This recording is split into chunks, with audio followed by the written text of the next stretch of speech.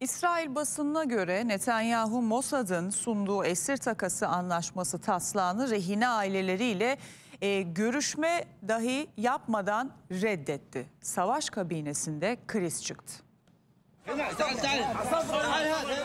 Gazze'de katliama devam eden İsrail Hamas'ın elindeki rehineleri takasla kurtarma seçeneğini de elinin tersiyle itiyor. İsrail Başbakanı Benjamin Netanyahu Mossad'ın sunduğu rehine takası anlaşma taslağını reddetti.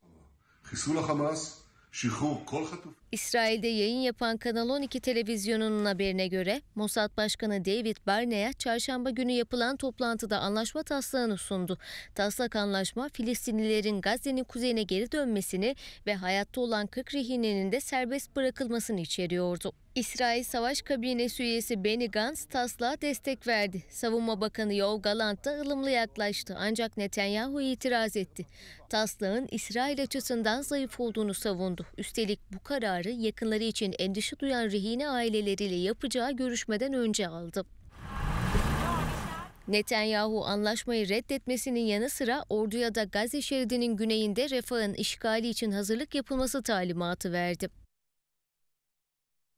Amerika Birleşik Devletleri merkezli Politico dergisi Biden yönetiminin savaş sonrası Gazze için barış gücü oluşturma planı yaptığını yazdı. Habere göre Amerika Birleşik Devletleri Gazze'ye asker göndermeyecek. İnsani yardım, altyapı inşası ve benzer desteklerde bulunacak.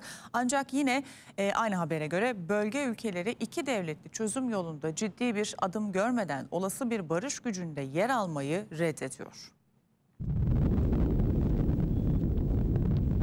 Amerika Birleşik Devletleri ordusu Gazze'de barış gücü oluşturmaya mı hazırlanıyor? İddia Politico dergisine ait.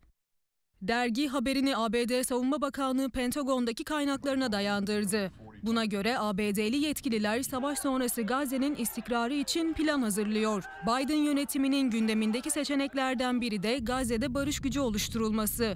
Ancak Amerikan askerleri bu barış gücü kapsamında Gazze'ye gönderilmeyecek. Pentagon yetkililerine göre ABD İsrail'le de temas halinde.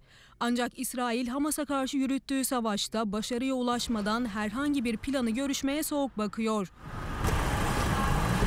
Peki barış gücünde hangi ülkelerin yer alması planlanıyor? Politico, ABD Dışişleri Bakanı Antony Blinken'ın Ocak ayında bölgeye yaptığı ziyarette bulunduğu temaslarda konuyu gündeme getirdiğini vurguladı. Ancak bölge ülkeleri iki devletli çözüm uygulanmadığı sürece olası bir barış gücü planına asker göndermeye karşı. Plana göre olası barış gücüne Filistin liderlik edecek. Ancak bu birliğe nasıl eğitim verileceği ve ekipmanın hangi ülkeler tarafından karşılanacağı henüz belirlenmedi. ABD barış gücüne maddi desteğin yanı sıra altyapı inşası, insani yardım ve diğer ihtiyaçlar için destek vermeyi planlıyor. Politico'nun haberinde olası bir planın tüm taraflar tarafından kabul edilmesinin haftalar hatta aylar alabileceği ifade ediliyor.